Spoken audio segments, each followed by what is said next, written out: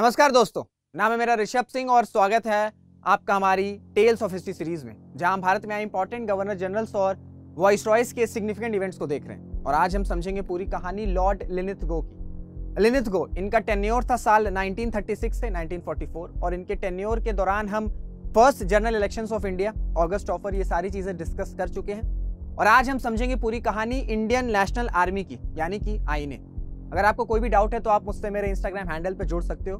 जो आपको स्क्रीन पे दिख रहा होगा। तो चलिए समझते हैं इंडियन नेशनल आर्मी के गठन का कि कैसे हुआ इसका फॉर्मेशन थर्ड सितंबर 1939 लिनिथ्रो डिक्लेयर करते हैं कि इंडियंस ब्रिटेन का साथ देंगे सेकेंड वर्ल्ड वॉर में, जिस पर कांग्रेस के सभी मिनिस्टर्स रिजाइन करते हैं और 1940 में रामगढ़ सेशन होता है, जहाँ पे सुभाष चंद्र बोस यानी कि नेताजी का माना था कि हम सबको एक mass civil disobedient movement start करना चाहिए, पर यह रेजोल्यूशन पास ना हो सका। तो नेताजी ने खुद से ही प्रोटेस्ट स्टार्ट कर दिया कैलकाटा में against a proposed monument for Holwell जिसके बाद नेताजी को अरेस्ट कर लिया गया और उनको जेल में डाल दिया गया। और जेल में ही सुभाष चंद्र बोस हंगर स्ट्राइक करते हैं सात दिनों तक, जिस वजह से उनकी तबीयत खराब होने लगती है। तो ब्रिटिशर्स सुभाष चंद्र बोस को हाउस अरेस्ट कर देते हैं। पर नेताजी तो नेताजी, उन्होंने अपना गेटअप ऐसा बनाया कि उनको ब्रिटिश ऑफिशियल्स पहचान ही ना पाए और वो हाउस अरेस्ट से सक्सेसफुली निकल गए।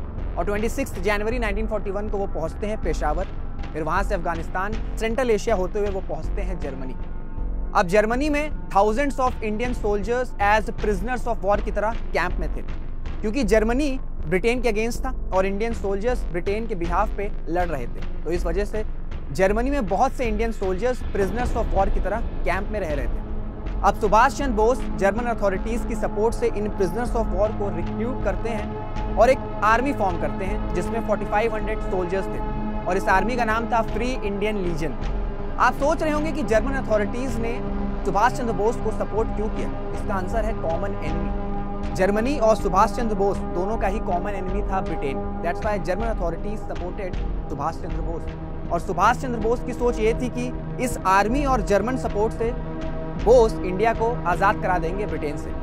पर ये जो सुभाष चंद्र बोस का प्लान था ना, ये इम्प्लीमेंट नहीं हो पाया। क्योंकि सुभाष चंद्र बोस को हिटलर के इंटेंशंस पे डाउट हो गया जब उनकी मीटिंग हुई हिटलर से। उनको समझ में आ गया कि हिटलर पे भरोसा शायद नहीं किया जा सकता है। क्योंकि हिटलर का कोई भरोसा नहीं। क्या पता ब्रिटेन से आज़ादी मिलने के बाद हिटलर कहीं इंडिया पे ही इन्वेट न कर दे। तो इस वजह से नेताजी ये प्लान ड्रॉप करते हैं और फरवरी 1944 में जापान की तरफ़ निकलते हैं। क्योंकि सेकेंड वर्ल्ड वॉर में जापान भी ब्रिटेन के अगेंस्ट था। और सेकेंड वर्ल्ड वॉर के टाइम का जापान को आज के जापान की तरह समझने की गलती मत करना। सेकेंड वर्ल्ड वॉर में एक इंटरस्टिक पावर था जापान। अब जैसे Indian soldiers prisoners of war की तरह जर्मनी में थे, उसी तरह बहुत से इंडियन सोल्जर्स जापान में भी एज प्रिजनर्स ऑफ़ वॉर की तरह थे जेल में। पैसिफिक ओशन के बहुत से साइलेंट्स जैसे सिंगापुर फिलीपींस मलय बर्मा क्योंकि 1942 तक जापान ने बहुत से पैसिफिक ओशंस के आइलैंड्स पे अपना कंट्रोल सेटअप कर लिया था।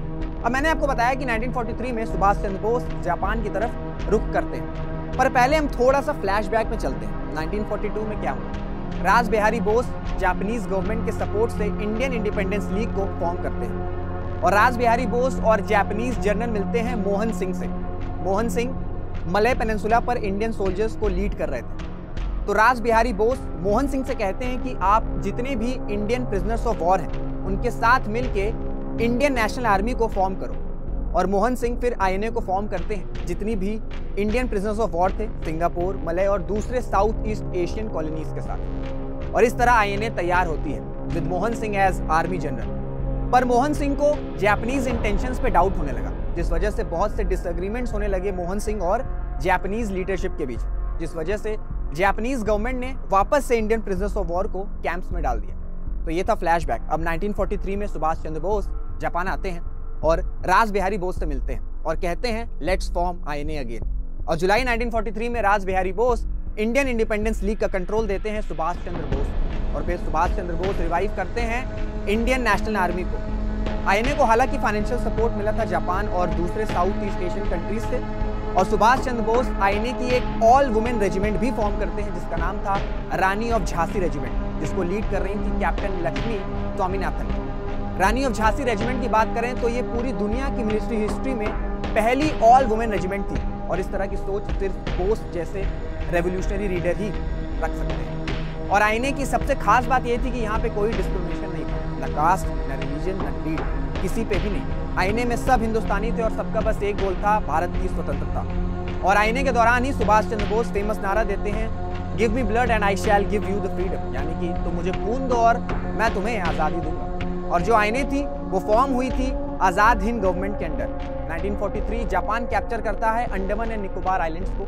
और यहाँ पे फिर जापान आज़ाद हिंद गवर्नमेंट को नॉमिनल अथॉरिटी सेटअप करने का कंट्रोल देता है। फिर अप्रैल 1944 आज़ाद हिंद फौज अपनी पहली विक्ट्री रजिस्टर करती है भारत की धरती पर। रखाइन मणिपुर और नागालैंड पे अपना कंट्रोल सेटअप करती है। आज़ाद हिंद फौज नागालैंड के कोहिमा और मणिपुर तक पहुँच जाती है। और मोयरन जो मणिपुर में एक जगह है, वहाँ पे आईएनए पहली बार भारत का झंडा फहराती है भारत की धरती पर पर समय के साथ लॉजिस्टिक्स की कमी होने लगी। फ़ूड शॉर्टेजेस हो गए, हथियार कम पड़ने लग गए, और फिर ब्रिटिश फोर्सेस हवाई हमले के थ्रू सब एरियाज़ जो आईने और जापान फोर्सेस ने अपने कंट्रोल में लिए थे, वहाँ से उनको रिट्रीट करती है British forces by air raid और second September 1945 second world war खत्म होता है, जिसमें लाइट पावर्स यानी कि ब्रिटेन अमेरिका सोवियत की जीत होती है। और फिर 16,000 आईने सोल्जर्स को वापस से जेल में भेज दिया जाता है। और अगस्त 1945 में खबर आती है कि सुभाष चंद्र बोस का प्लेन क्रैश हो गया और उनकी रिपोर्टेडली डेथ हो गई। तो ये था पूरा इंडियन नेशनल आर्मी का सफ़र। पर आईने का एक इंपॉर्टेंट कॉन्ट्रीब्यूशन था भारत की आज़ादी में क्योंकि आईने की एक्टिविटीज़ से ब्रिटिश हुकूमत को इतना लॉस हुआ प्लस इंडिया में नेशनल मूवमेंट अपने पीक पे था तो इन सब वजहों से 1947 में भारत आज़ाद हो गया। तो एज इंडियन हमें हमेशा सुभाष चंद्र बोस और उनकी आईने के कॉन्ट्रीब्यूशन को कभी भूलना नहीं चाहिए। तो ये थी पूरी कहानी आज़ाद हिंद फौज की। अगर आपको ये सभी कंटेंट हेल्पफुल लग रहे हैं तो इनको शेयर करिएगा लाइक करिएगा और कमेंट करिएगा। मिलते हैं लिनित गो के टेन्योर के सिग्निफिकेंट इवेंट्स के अगले वीडियो में। This is Rishabh Singh signing off जय हिंद, जय भारत।